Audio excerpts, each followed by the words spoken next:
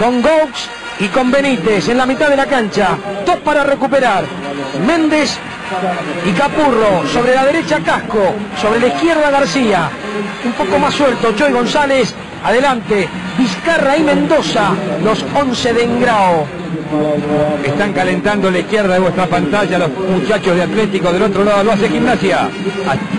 Idéntica táctica, por lo menos de entrada. Y es el arquero del equipo tucumano.